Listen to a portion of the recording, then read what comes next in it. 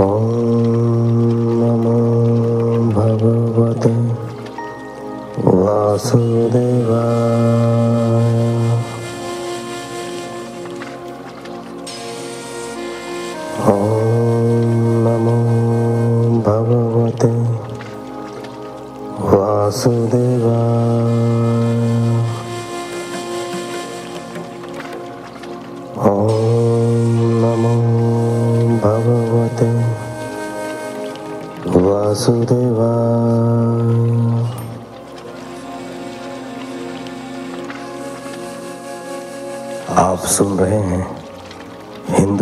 हिंदू हिंदू रीति रिवाज द्वारा प्रसारित श्रीमद् भागवत महापुराण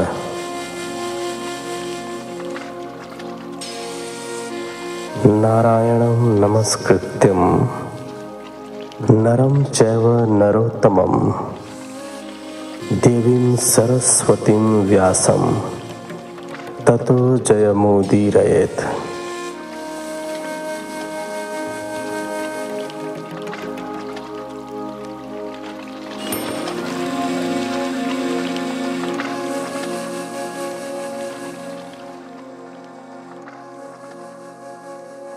एकादश स्कंध के इस एपिसोड में आप सुनेंगे पाँचवें अध्याय से लेकर सातवें अध्याय तक। तो चलिए कथा प्रारंभ करते हैं पाँचवें अध्याय से।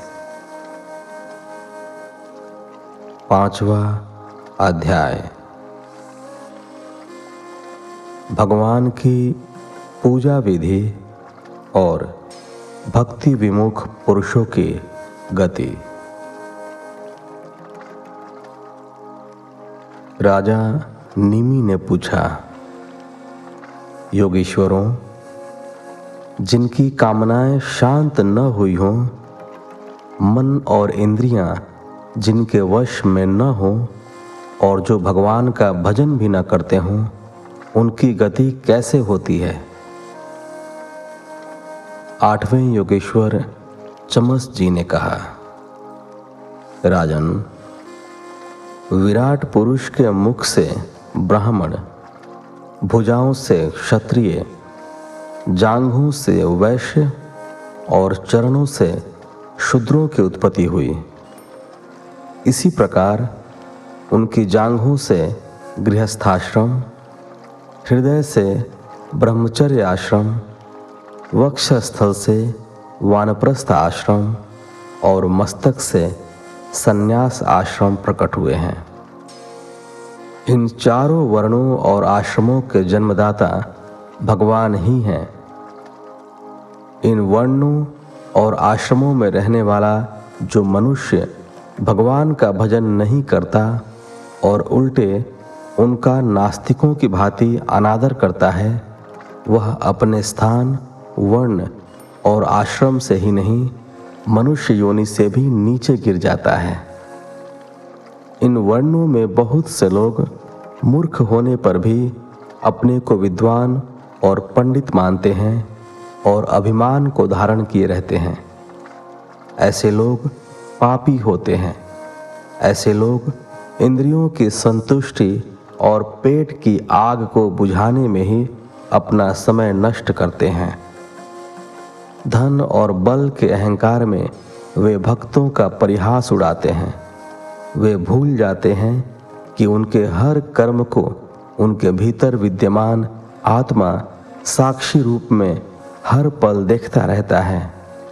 वे यह भी भूल जाते हैं कि धन का एकमात्र लक्ष्य धर्म होता है, क्योंकि धर्म से ही परम तत्व ज्ञान की अनुभूति होती है।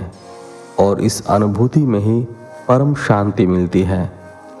वे मृत्यु की अनिवार्यता को भूल जाते हैं।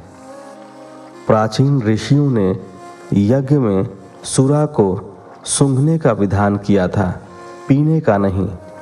इसी प्रकार यज्ञ में पशु का आलमन अर्थात स्पर्श ही किया जाता है, उसकी हिंसा नहीं की जाती। परंतु अज्ञान के कारण लोग इनका मनमाना अर्थ करके मदिरा का सेवन खुलकर करते हैं और पशुओं की हिंसा अपने पेट या स्वाद के लिए करते हैं। इसी प्रकार शास्त्रों में मैथुन की आज्ञा केवल संतान उत्पत्ति के लिए दी गई है, देह सुख के लिए नहीं, परंतु वे इसके मूल भाव को न समझकर भोग विलास में ही आकंठ डूबे रहते हैं। यह शरीर नष्ट हो जाने के लिए है। इसके नष्ट होते ही सगे संबंधी भी किनारा कर जाते हैं। जो लोग भगवान को भूलकर इस शरीर से ही चिपटे रहते हैं, उनका अधः पतन तो निश्चित ही मानना चाहिए। जो लोग अर्थ, धर्म और काम के मुँह में फंसकर भगवान को भूले रहते हैं, उन्हें एक क्षण के लिए भी शांति नहीं मिलती। ऐसे लोग आत्मघाती कहलाते हैं। ऐसे अज्ञानी सदैव दुखी रहते हैं। इनके हृदय की जलन, विषाद और अहम कभी नहीं मिट पाता। ऐसे व्यक्तियों को घोर नरक में जाना पड़ता है। राजा नीमी ने पूछा, भगवान, आप यह बताइए कि भगवान किस समय किस रंग का आकार ग्रहण करते हैं और मनुष्य किन विधियों से और नामों से उनकी उपासना करते हैं? अब नौवे योगेश्वर करभाजन जी ने कहा, राजन, सृष्टि के चार युग हैं। सतयुग, त्रेता युग, द्वापर युग और कलयुग। इन युगों में भगवान के अनेक रंग और आकृतियाँ होती हैं। सत्य युग में भगवान के विग्रह का रंग श्वेत होता है। चार भुजाएँ और सिर पर जटा होती है तथा वे वलकल वस्त्र पहनते हैं। काले मृग का चर्म, यज्ञोपवित, रुद्राक्ष की माला, दंड और कमंडलू धारण करते हैं। सत्य युग के लोग शांत हृदय, हितैषी और समदर्शी होते हैं। वे संयम के साथ तपस्या और समाधि द्वारा सूर्य के समान सभी को प्रकाश देने वाले परमात्मा की आराधना करते हैं।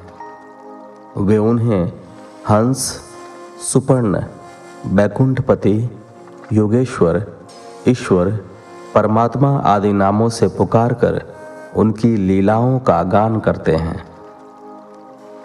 त्रेता युग में श्री हरि के विग्रह का रंग लाल होता है। चार भुजाएँ और कटी भाग में तीन मेखला धारण करते हैं। केश सुनहले होते हैं और यज्ञ पात्रों को धारण करते हैं। वैदिक धर्म के प्रवीण इस युग के लोग यज्ञ द्वारा भगवान श्री हरि की उपासना सर्वदेवमय स्वरूप देवाधिदेव के रूप में करते हैं। वे भगवान को विष्णु, यज्ञ पुरुष, पृष्मी गर्भ, सर्वदेव, उरुक्रम, वृषाकपि, जयंत, उरुगाय आदि नामों से पुकारकर उनकी लीलाओं का कीर्तन करते हैं। द्वापर युग में भगवान श्रीहरि के विग्रह का रंग सांवला होता है। वे पीताम्बर धारण करते हैं। शंख, चक्र, गदा और पद्म अपने चारों हाथों में धारण करते हैं। वक्ष स्थल पर श्रीवत्स का चिन्ह कौस्तुक मणि और वैजंती माल धारण करते हैं। सिर पर मोर मुकुट पहनते हैं। जिज्ञासु मनुष्य, छत्र, चमर आदि से युक्त परम पुरुष भगवान की उपासना वैदिक और तांत्रिक विधि से करते हैं। उन्हें कृष्ण, गोपाल, मधुसूदन, नारायण, विश्वेश्वर, सर्वभूतात्मा, जगदीश आदि नामों से पुकारते हैं। कलयुग में भगवान का विग्रह काले रंग का होता है। उनके अंगों की छवि नीलम मणि के समान होती है। वे सुदर्शन चक्र, गदा शंख और अपने सुनंद आदि पार्षदों से युक्त रहते हैं। कलयुग में श्रेष्ठ बुद्धि संपन्न लोग यज्ञों द्वारा उनकी आराधना करते हैं। उस आराधना में उनके गुण, लीला और नाम संकीर्तन की प्रधानता होती है। भगवान के चरण कमल की सेवा में ही उनका ध्यान रहता है। राजन, धर्म, अर्थ काम और मोक्ष के एकमात्र स्वामी भगवान श्री हरि हैं। कलयुग में भगवान के नाम संकीर्तन में सभी स्वार्थी भावनाएँ परमार्थी बन जाती हैं। देहाभिमानी जीव संसार के इस मायावी चक्र में जीवन मृत्यु के दो पाटों के बीच पिसता रहता है। उससे मुक्ति पाने के लिए भगवान की लीला, गुण और नाम संकीर्तन ही सबसे बड़ा सहारा है। कलयुग की महिमा अन्य तीनों युगों से निराली है। इस युग में भगवान के चरण कमलों का आश्रय सर्वाधिक आवश्यक है। इसीलिए सभी ऋषि मुनि और भक्त बार बार कलयुग में जन्म लेने के इच्छुक रहते हैं। राजन, जो व्यक्ति सब कुछ छोड़कर भगवान के श्री चरण कमलों की शरण में आ जाता है, वह सभी ऋणों से मुक्त हो जाता है। वसुदेव जी, इस प्रकार मिथिला नरेश निमी उन योगेश्वरों की धर्मवाणी सुनकर बहुत प्रसन्न हुए।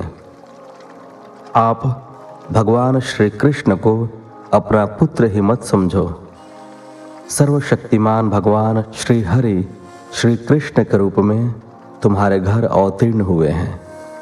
उनके वात्सल्य प्रेम से तुम्हारा जीवन धन्य हो गया है। वे सर्वात्मा, सर्वेश्वर, कारणातीत और अविनाशी हैं। उन्होंने लीला करने के लिए मनुष्य का रूप धारण किया है।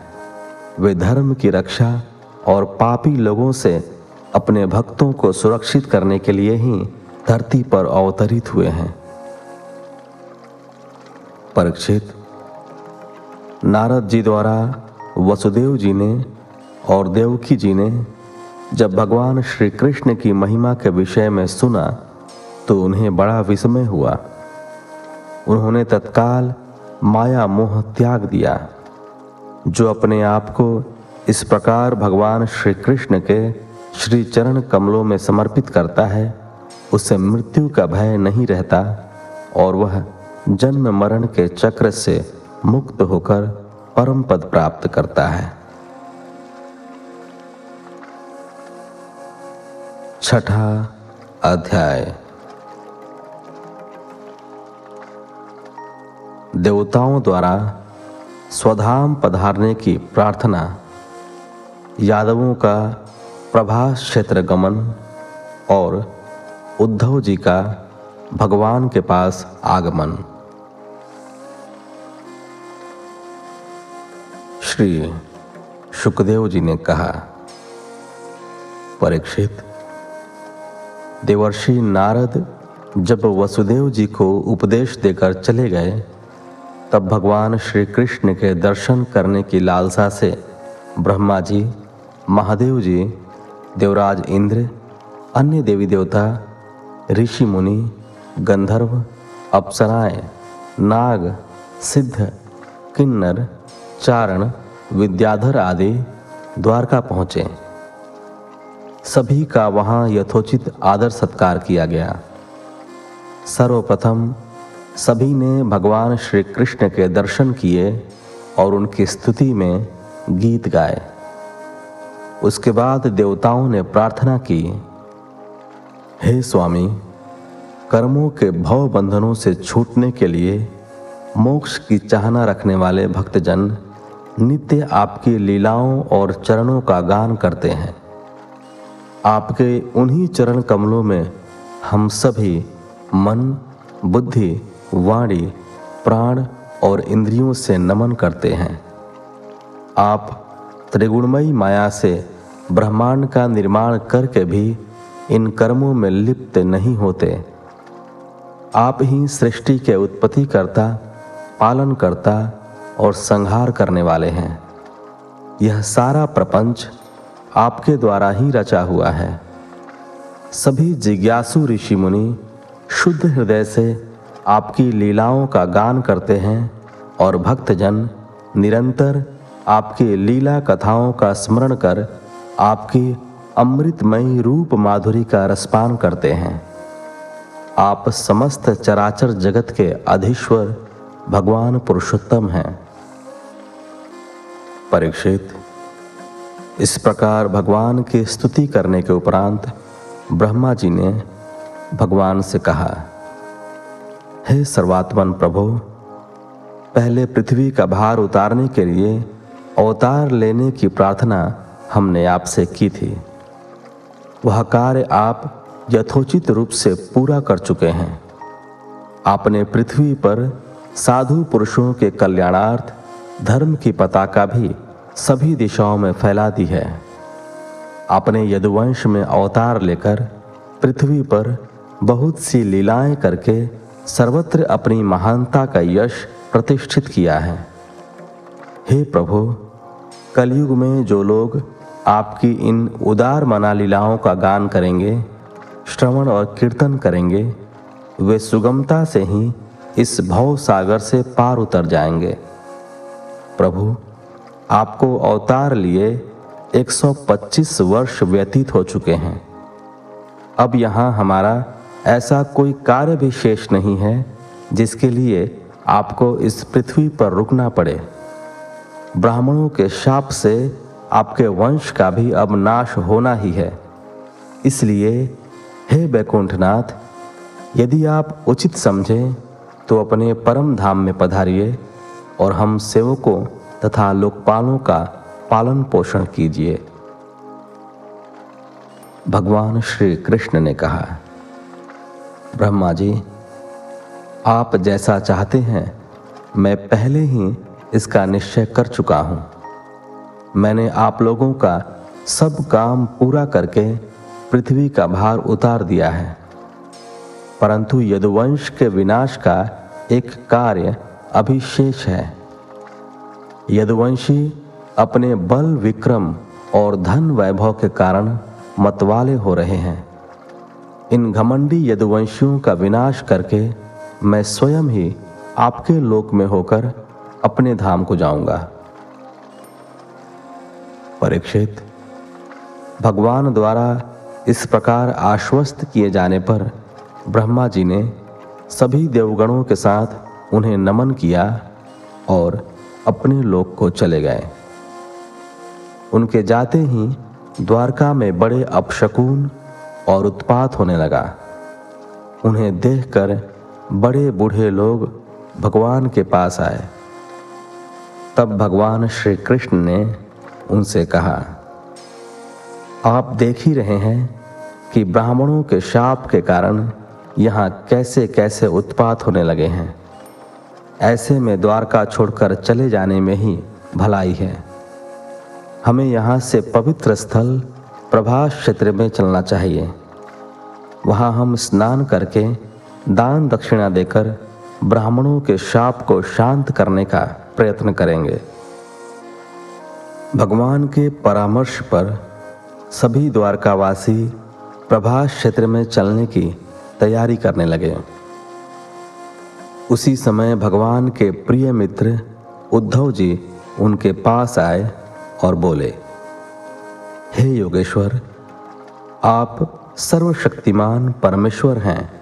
आप चाहते तो ब्राह्मणों का शाप नष्ट कर सकते थे, परंतु आपने ऐसा नहीं किया।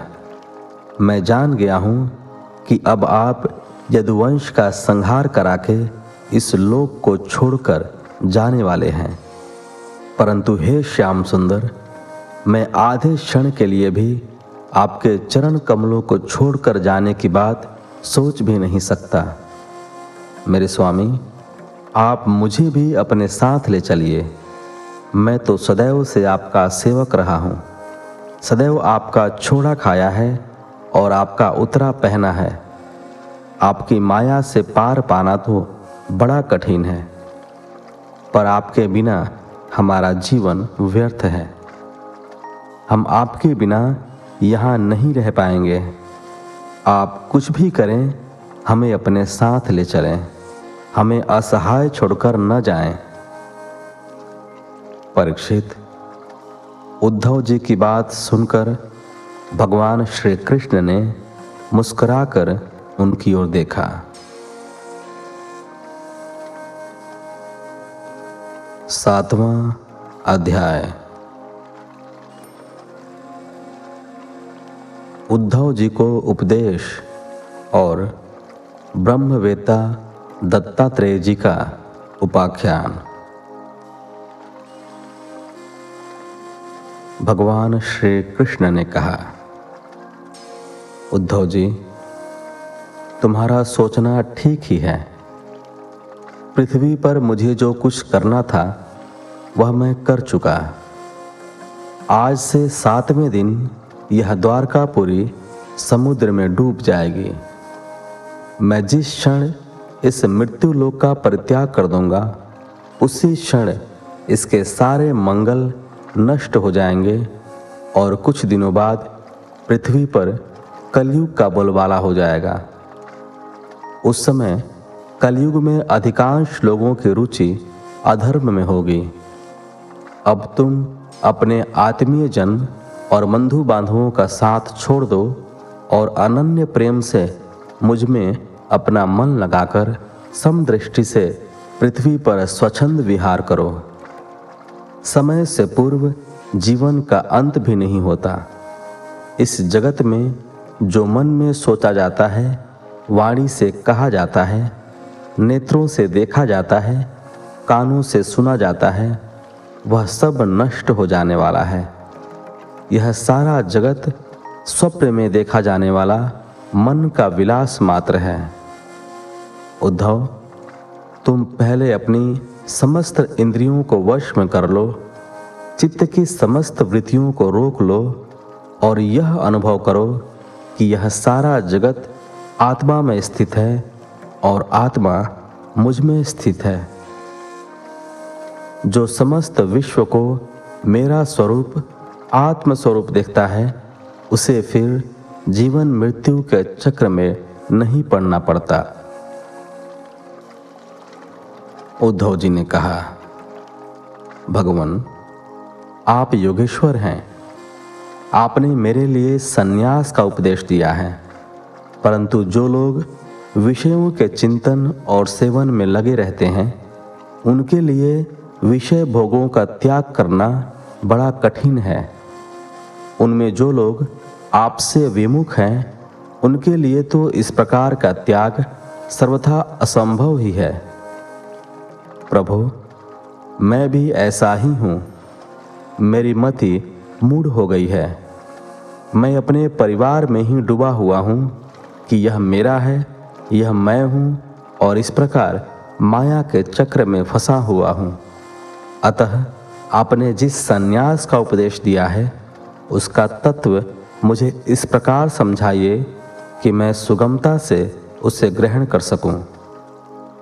हे प्रभु, आप भूत, वर्तमान और भविष्य, इन तीनों कालों में एक रस सत्य हैं।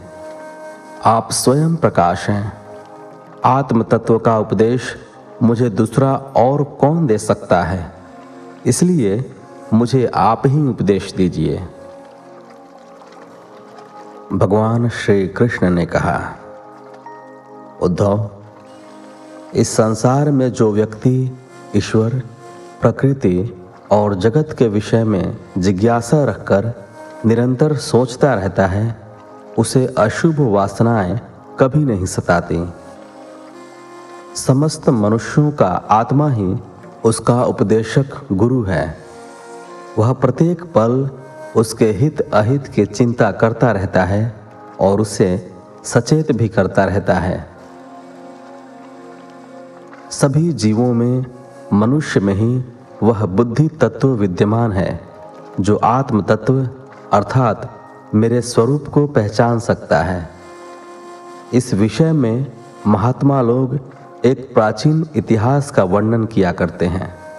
वह इतिहास परम तेजस्वी, अवधूत, दत्तात्रेय और राजा यदु के संवाद रूप में है। एक बार राजा यदु ने दत्तात्रेय जी से पूछा था, विप्रवर, आप कोई कर्म तो करते नहीं? फिर आपको यह अत्यंत निपुण बुद्धि कहाँ से प्राप्त हो गई? इसका आश्रय लेकर आप परम विद्वान होने पर भी बालक के समान संसार में विचरते रहते हैं। आपके वचन अमृतमय हैं। फिर भी आप जड़ उन्मत और पिशाच के समान रहते हैं। न कुछ करते हैं और न कुछ चाहते हैं। आप पुत्र, स्त्री, धन आदि और संसार के स्पर्श से मुक्त हैं। आप हमें कृपया बताइए कि आपको अपने आत्मा में ऐसे अनिर्वचनीय आनंद का अनुभव कैसे होता है? ब्रह्मवेता दत्तात्रेय जी ने कहा, राजन, मैंने अपनी बुद्धि से बहुत से गुरुओं का आश्रय लिया है। उनसे शिक्षा ग्रहण करके मैं इस जगत में मुक्त भाव से विचरण करता हूँ। मेरे उन गुरुओं के नाम पृथ्वी वायु, आकाश, जल, अग्नि, चंद्रमा, सूर्य, कबूतर, अजगर, समुद्र, पतंग, भौरा, मधुमक्खी, हाथी, शहद निकालने वाला हरिन मछली, पिंगला वैश्या, टटिहरी पक्षी, बालक, कुंवारी कन्या, बाण बनाने वाला, सर्प, मकड़ी और भृंगी कीट है। राजन, मैंने इन चौबीस गुरुओं का आश्रय लिया है और इन्हीं के आचरण से अपने लिए शिक्षा ग्रहण की है। मैंने पृथ्वी से धैर्य, क्षमा और दृढ़ता की शिक्षा ली है। धीर पुरुष को अपना धैर्य, दृढ़ता और क्षमा करने के भाव को कभी नहीं छोड़ना चाहिए। पृथ्वी के वृक्ष सदैव दूसरों के लिए ही अपना जीवन जीते हैं। उनसे परोपकार की भावना को ग्रहण करना चाहिए। शरीर में रहने वाली वायु ही प्राणवायु है। जितने से प्राणवायु संतुष्ट हो जाए, उतना ही भोजन ग्रहण करना चाहिए। वायु जिस प्रकार जीवन का आधार है, वैसे ही स्वयं को दूसरों के सुख के लिए समर्पित करना चाहिए। उतने ही विषयों को ग्रहण करें, जितने से बुद्धि विकृत न हो जाए। शरीर के बाहर की वायु अनेक स्थानों पर भ्रमण करती है, और फिर भी उनमें आसक्त नहीं होती। किसी के भी गुण दोष को वह नहीं अपनाती। इसी प्रकार साधक भले ही विविध धर्म और स्वभाव वाले लोगों के मध्य जाए, परंतु उसे अपने लक्ष्य पर निरंतर स्थित रहना चाहिए। गंध वायु का नहीं, पृथ्वी का गुण है। फिर भी वायु गंध का वहन करती है। ऐसा करने पर भी वह अपनी शुद्धता को नहीं छोड़ती। साधक का संबंध जब तक इस शरीर से रहता है, तब तक उसे इसके रोगों का वहन करना पड़ता है। परंतु जो स्वयं को शरीर नहीं, आत्मा मानता है, वह शरीर के गुण दोष से तटस्थ रहता है। आकाश अखंड है, वैसे ही चर अचर जितने सूक्ष्म और स्थूल शरीर हैं, उनमें आत्मा आकाश की भांति स्थित रहता है। यह आत्मा ही ब्रह्म का स्वरूप है, जो सभी प्राणियों में साक्षी रूप से रहता है। माला के मनकों में जैसे धागा रहता है, वैसे ही जीवों में यह आत्मा रहता है। आकाश में मेघ उमड़ते हैं, जल बरसता है, उल्का पिंड टूटते हैं, सितारे चमचमाते हैं, ग्रह नक्षत्र घूमते हैं, फिर भी आकाश इन सबसे अछूता रहता है। इसी प्रकार साधक को संसार की सभी भौतिक, अभौतिक वस्तुओं से अछूता रहना चाहिए। जल, स्वभाव से स्वच्छ, चिकना, मधुर, पवित्र और निर्मल होता है। इसी प्रकार, साधक को स्वभाव से शुद्ध, स्निग्ध, लचीला, मधुरभाषी और परोपकारी होना चाहिए। अग्नि, तेजस्वी और ज्योतिर्मय होती है। कोई उसे अपने तेज से नहीं दबा सकता। केवल जल ही उसे दबा सकता है। अग्नि जैसे सब कुछ अपने पेट में पचा जाती है, वैसे ही साधक को अपने तेज से, तपस्या से सभी बाह्य और आंतरिक दोषों को पचा लेना चाहिए। जैसे पदार्थों में अग्नि कभी प्रकट होती है, कभी अप्रकट। वैसे ही साधक को कभी शांत रहना पड़ता है तो कभी उससे प्रकट भी होना पड़ता है।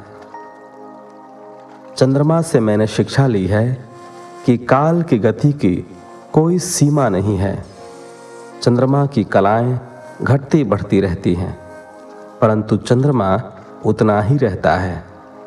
ऐसे ही जन्म से मृत्यु पर्यंत जितनी भी अवस्थाएँ दिखाई पड़ती हैं, वे सभी शरीर की हैं। आत्मा से उनका कोई संबंध नहीं होता।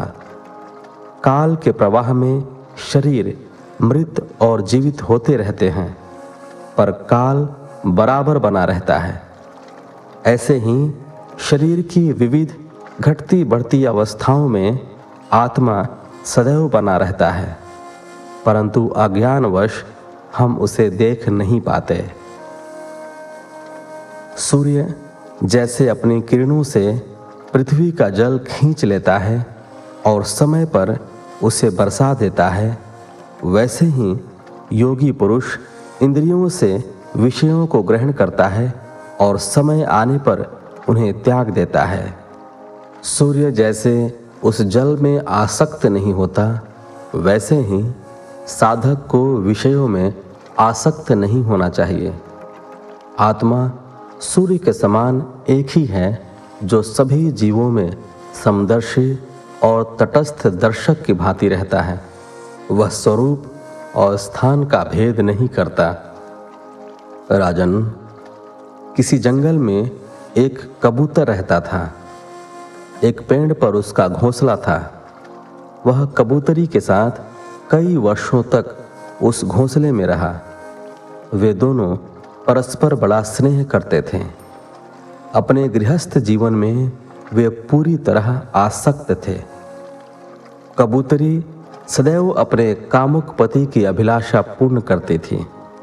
समय आने पर कबूतरी ने पहली बार अंडे दिए और समय होने पर उन अंडों में से बच्चे निकले। वे बड़े प्यार से उनका लालन पालन करते और सदा प्रसन्न रहते। एक दिन वे दोनों अपने बच्चों के लिए खाना लेने जंगल में गए हुए थे। तभी एक बहेलिया घूमता हुआ उधर आ निकला। उसने घोंसले के पास कबूतरों को फुदकते देखा और जाल लगाकर उन्हें पकड़ लिया। जब कबूतर कबूतरी चारा लेकर घोंसले पर आए तो उन्होंने अपने बच्चों को जाल में फंसे देखा तो उनके दुख की सीमा न रही। वे रोते चिल्लाते उनके पास पहुँचे। तभी कबूतरी भी बच्चों के स्नेह में पड़कर जाल में फंस गई। उन्हें फंसा देखकर वह मूर्ख कबूतर रोने लगा और मोहवश वह भी उस जाल में जा फंसा। उस बहलिए की तो बन आई। वह उन्हें बाँध कर चलता बना। राजन, गृहस्थ जीवन में जो साधक सदैव अपने और अपने बच्चों के भरण पोषण में ही लगा रहता है, अपने स्वजनों परिजनों में आसक्त रहता है, संसार के संबंधों को निभाने के लिए अपने जीवन में अधर्म का आचरण करने में भी संकोच नहीं करता और काल रूपी बहेलिए को भूले रहता है, उसका परिणाम इसी प्रकार होता है। जबकि यह मनुष्य शरीर मुक्ति का खुला द्वार है। इसे पाने के लिए देवता भी तरसते हैं। तब भी इसे पाकर भी जो भगवान की प्राप्ति के लिए प्रयत्नशील नहीं होता, वह मनुष्य मूर्ख ही है। अतः सांसारिक मोह में पड़कर परमात्मा को कभी नहीं भूलना चाहिए। इस प्रकार सातवें अध्याय के साथ इस एपिसोड को यहीं विराम देते हैं। मिलते हैं आपसे अगले एपिसोड में। तब तक के लिए धन्यवाद। जय श्री हरि।